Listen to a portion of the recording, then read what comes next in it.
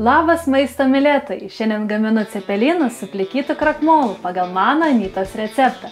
Man labai patinka šis receptas, nes cepelinų tešą nereikia virtų bulvių ir dirbtinio krakmolo, o cepelinai gaunasi tikri tradiciniai. Jų pagaminimo procesas yra labai paprastas ir greitas, taigi nusirašykite visus produktus, kuriuos matote šalia manęs, atsiraitojame rankovės ir pirmin prie darbo. Pirmiausiai nusilpam visas bulves ir jas susitarkojame.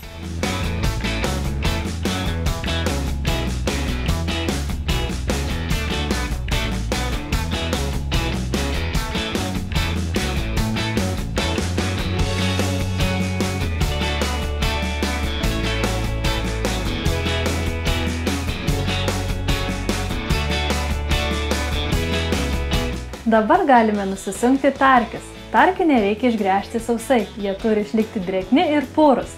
Taip pat neišpilame tarkių sunkos, nes joje yra mums taip reikalingas natūralus bulvių krakmolas.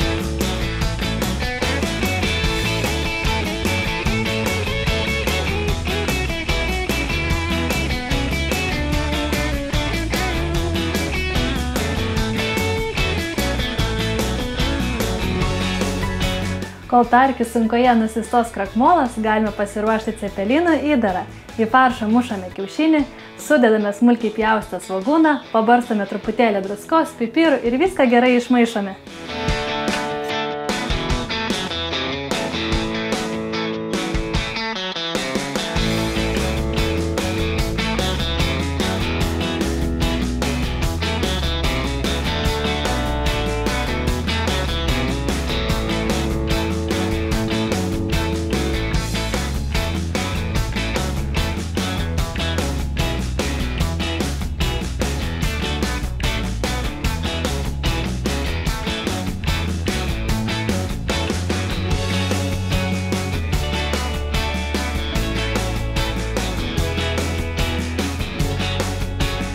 Dabar nuo viršaus palengva nupilame visą tarkį sunką.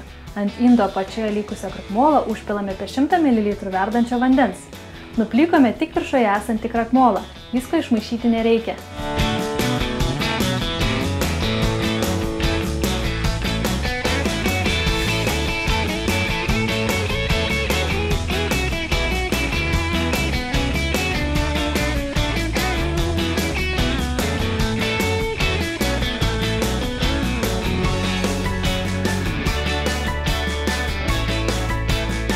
Nuplikytą krakmolą sudedame į tarkis, pabarstame truputėlį druskos ir viską gerai išmaišome.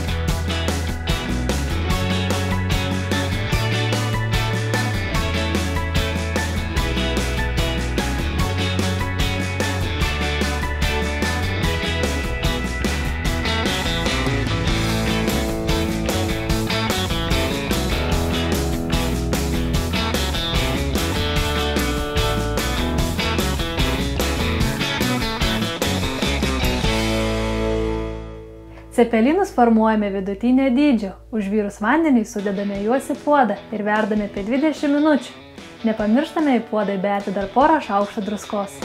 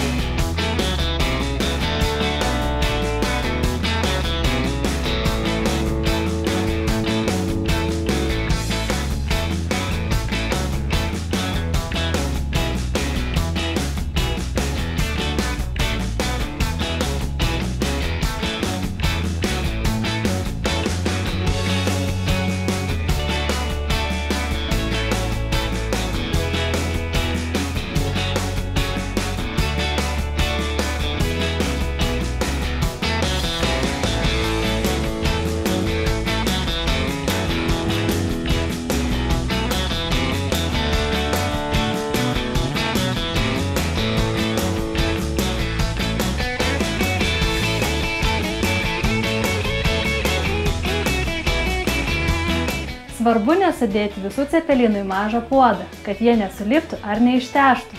Verdant taip pat nerekomenduoju jų maišyti.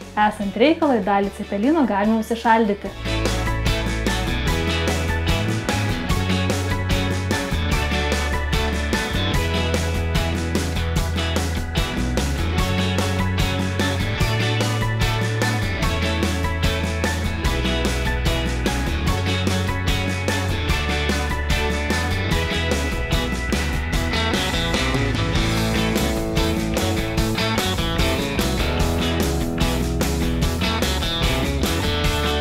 Ačiū Anytai už puikų receptą, linkėjimai tau.